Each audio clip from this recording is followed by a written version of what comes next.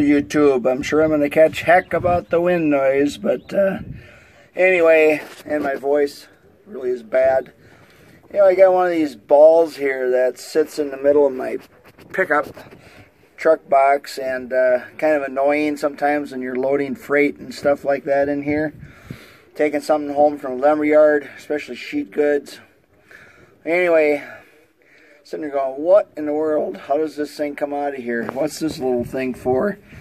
Got to talking to the local uh, guy at the service station in our hometown, and he was saying that maybe they turn and then come up.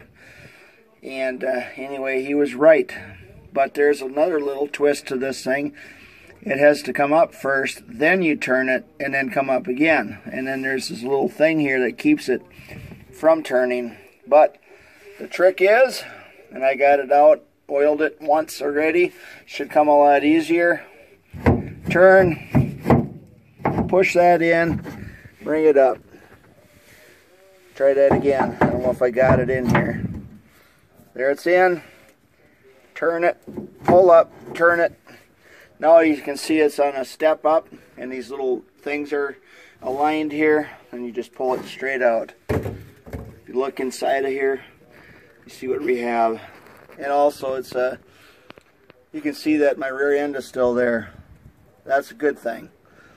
Anyway, I just thought that was kind of interesting. Now I know how to do it, so I'll just put it back in. Really easy to put in. Thanks for watching. I don't know who makes this. It would be nice if they had a cover for it. Maybe there is. I'll have to dig through my pickup once. Maybe it came with a cover. Don't know. Thanks for watching. Have a great day. Bye.